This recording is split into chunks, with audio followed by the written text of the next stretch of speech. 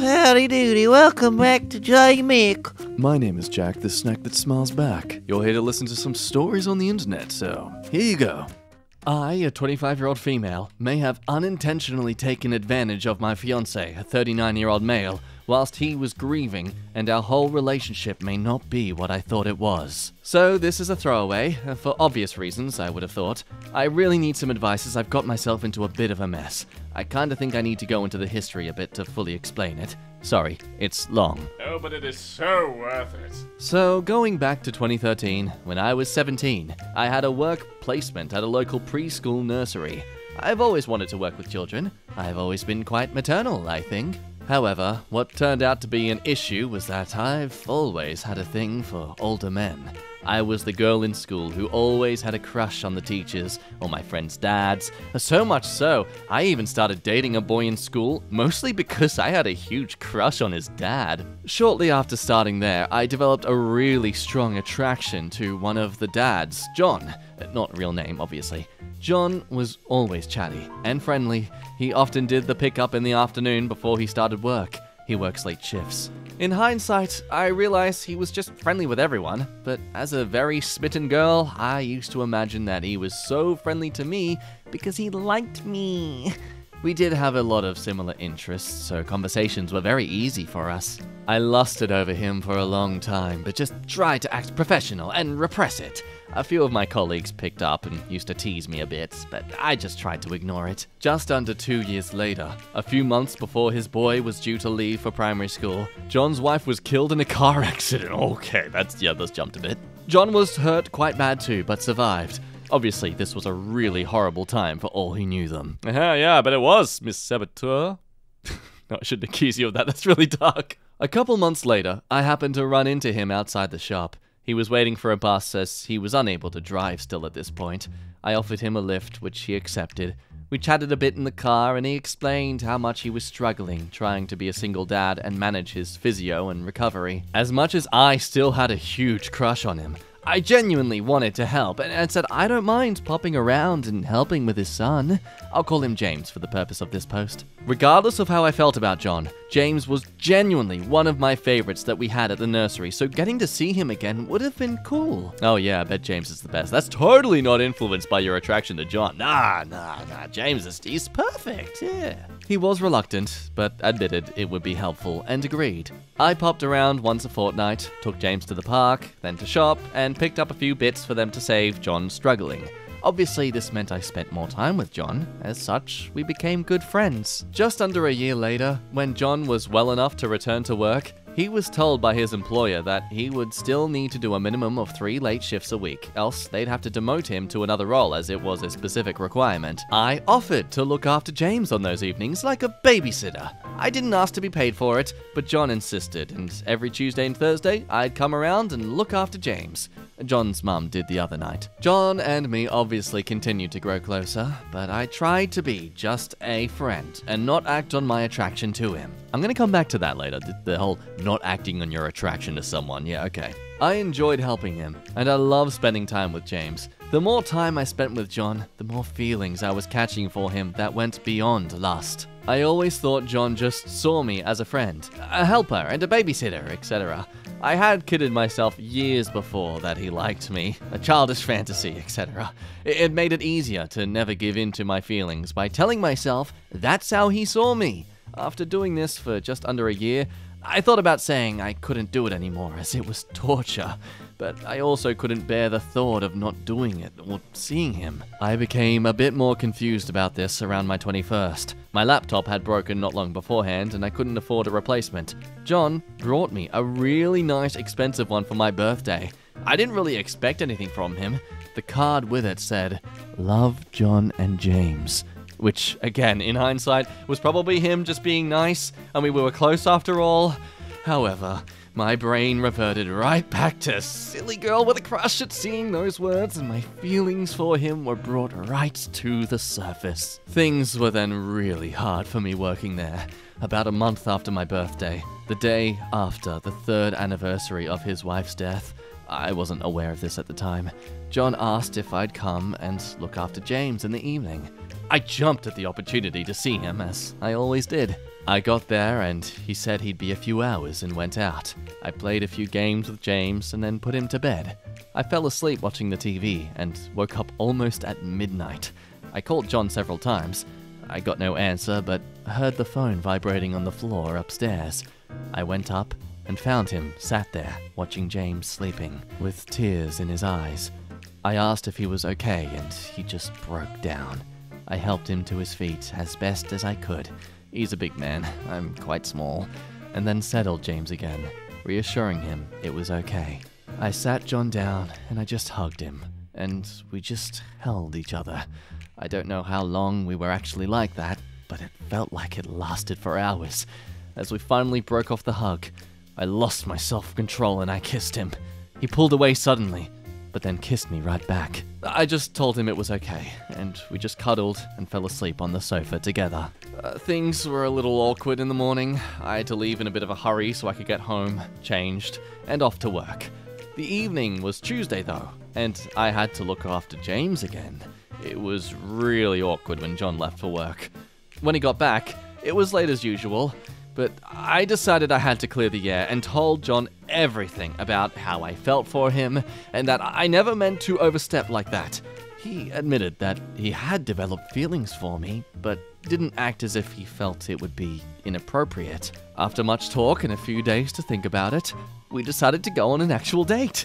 Things progressed from there, and we've been together as a proper couple for almost four and a half years now. It's been amazing. Better than I ever imagined. I've had an amazing relationship with James too. He sees me like a mum, although he's aware I'm not his mum. We get on really well. At the start of last month, John took me by complete surprise and proposed to me.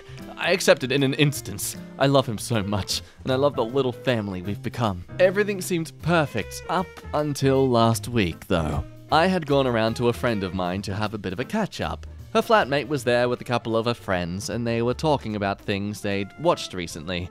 My friend and I ended up joining in a bit as her flatmate's friend was big into crime related documentaries, dramatizations, etc., as is my friend. One of them started talking about something they'd watched a few years ago about a con man who stole a lot of money off a lot of women, all of them widows. He targeted widows who were grieving the loss of their husbands and essentially groomed them and ended up running off with their money. The moment she mentioned it, something became ingrained in my head. I can't help but feel I've unintentionally groomed John while he was grieving. I truly love him, but I can't bear the thought that he only has the feelings he has, or even thinks he has, because I essentially took advantage of his grief for my own benefit. I know I lusted after this man pretty much the moment I first laid my eyes on him. In my mind, I never intended to pursue anything romantic. I just wanted to help him, and I caught feelings in the process. Still, I never meant to act on them. Like, as if you're gonna be surprised you caught feelings for a guy who you socially find very charming as well as lust for.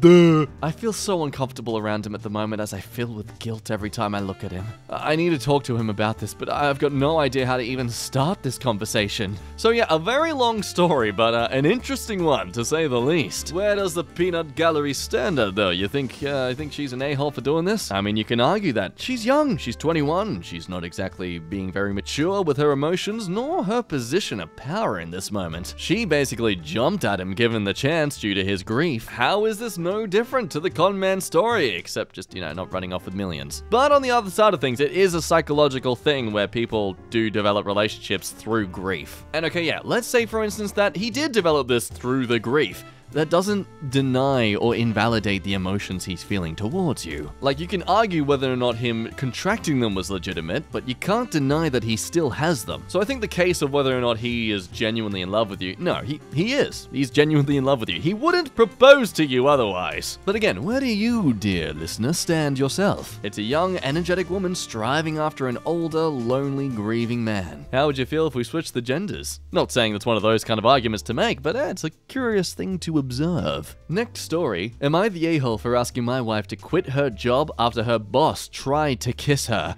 So, I am a 24 year old male, my wife is 25. She is my high school sweetheart. We've been together since we were 18 and went through uni together too. We married last year, and overall, everything is going really well. This year, she started a job in a fashion store. It's her first job ever, and she really enjoys it there. So she frequently goes to after work dinners and drinks with her co-workers, most of which are male. I'm fine with that, of course. I fully trust her and know she would never want to cheat on me. Also, she always tells me everything and doesn't leave out details. I know all of her co-workers, including her boss. I've met them a few times before. So, the other day, she tells me that after one of those evenings out with her coworkers, she was walking with her boss back to the store to pick up something at around 4 am, and he tried to kiss her. She, of course, pulled him away right away. I believe her. And she went home to tell me straight away. Of course, I am freaking out. I don't like this one bit. Her boss knows me. He knows we are married. So the next morning, I gathered my thoughts and told her straight up that I would like her to quit her job. I don't feel comfortable with her working there anymore. She says I'm overreacting, she would never do anything with him, and she loves her job and enjoys getting paid, of course. I mean, she is not even considering looking for something else. Like, she really wants to stay there, but I feel super uncomfortable. She said she wouldn't go for drinks alone with her boss anymore, but honestly, that's not enough for me. Am I the a hole for asking her to quit her job? People's thoughts. You're the a hole. Her boss should be punished, not her. But it isn't normal for people to be out with their boss until 4 a.m. either.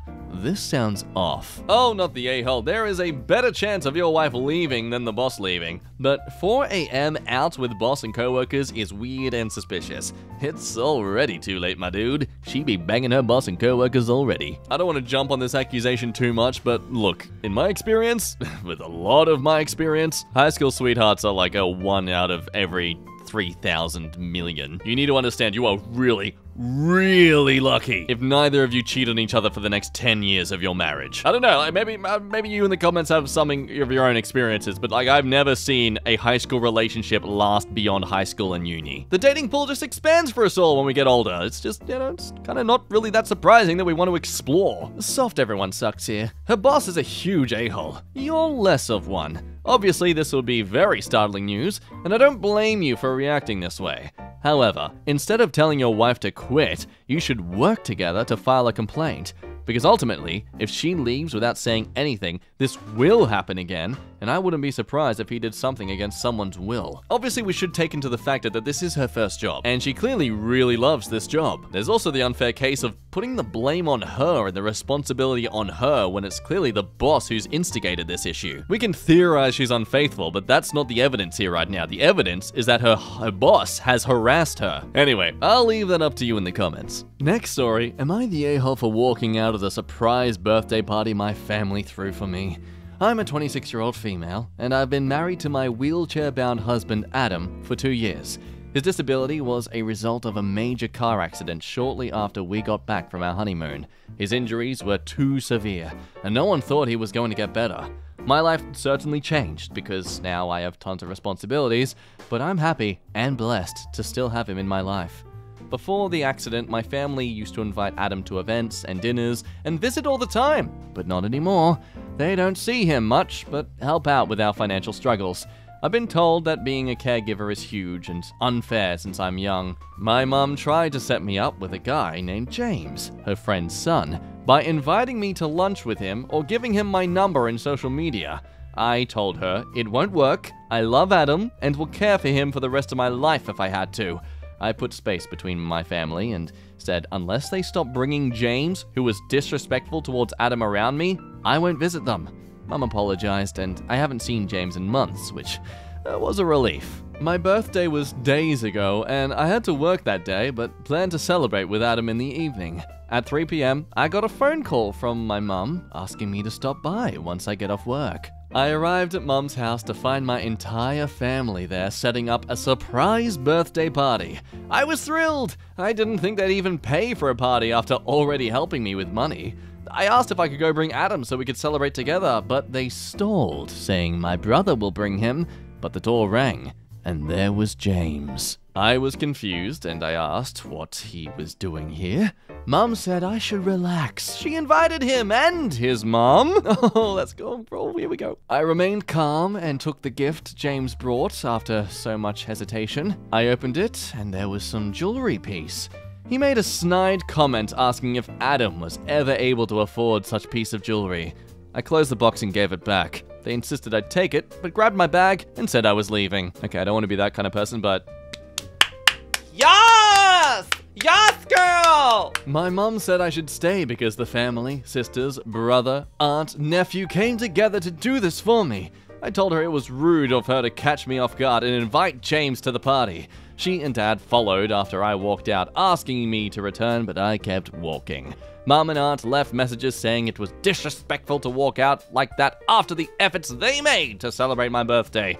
They said I had plenty of time to celebrate with my husband, and I shouldn't have made a scene and embarrassed them in front of their friends. They said I screwed up and overreacted by being hostile towards those who were trying to be nice and take my mind off the stress.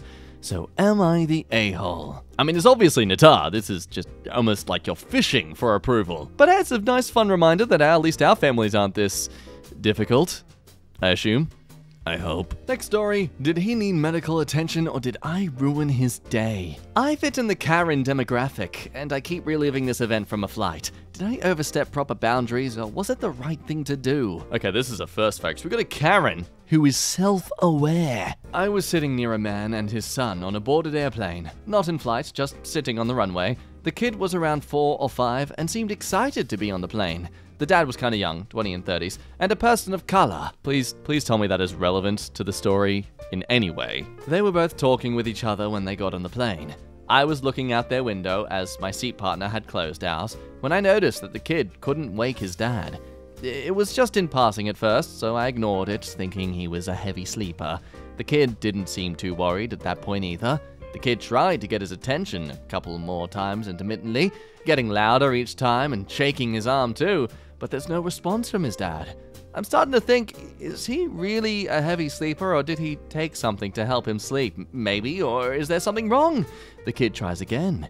He seems more worried this time. Now, because the kid is trying to wake him up by shaking his side, his dad slumped forward in his seat like I've never seen an alive person do before. I'm looking around to see if anyone else notices. I look at him and can't tell if he's breathing. His hands and whole body are limp and he slumped over forward. I decide, oh crud, I need to do something. He looks like he may not even have a pulse. Another passenger behind me asks, Is that man alright? We signal for a flight attendant and try to get the man's attention. The flight attendant can't get the man's attention. His son says, He's just sleeping. It almost seems like he might not be worried about it anymore, like this is a normal thing for his dad.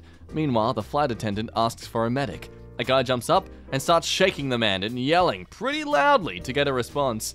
It takes close to a minute of this for the man to come around. He's pretty disoriented, saying something about making his flight and that they're on their way to this place. As they try to get him caught up on what's happened, he starts to get irritated. I mean, understandable, strangers were yelling at him on the plane. He insists he's just tired and has been sleeping and has just been exhausted lately. Medical services come from the airport to examine him. They ask him about meds, about here, I remember not to be an a hole and put loud headphones in to try to give more privacy. He refuses an ambulance. They do tell him his vitals are good, but he's escorted off the plane with his son. He's pretty ticked off, which I get. He ends up leaving pretty peacefully, but he does exclaim, I guess you can't sleep on a frickin' airplane anymore. My actions were definitely out of concern for his health, but is there something else I should have done? I feel like I completely fricked up his day, but I'm glad he's okay. Was there a better way to handle it before involving flight attendants? Now, I don't know about anyone else's experience when it comes to sleeping people, but like, I, this comment says it. It's not normal to sleep so heavily that it takes multiple people to physically wake you. Like, you chose to err on the side of caution and alerted the staff. Everything that happened from that point on was out of your hands, so you can't be the a-hole for that. I mean, I really have to question why they even decided to escort him off in the first place. Why did they need to? Maybe that's why they relate to this of them being a person of color. Is this meant to be a racial profiling thing? I, I don't know. Hello, hi, you've made it to the end of the video. Welcome, I've been waiting so eagerly to see you once again. I love that you've made it here. Thank you so much for giving me your time today. If you have the chance to give this video a like, I would absolutely love you for it. Seriously, I would love you for it. Like this video, do it. Give it to me. I do like to make this channel a conversation between us all, so any other little thoughts or opinions you have, things that might be totally against what I was saying, please let me know down below. I I'm just one voice. I'm not the genius of everything. Anyway, my name's been Jack. You have been a lovely person to ramble at today, and I will see you next time. Bye bye.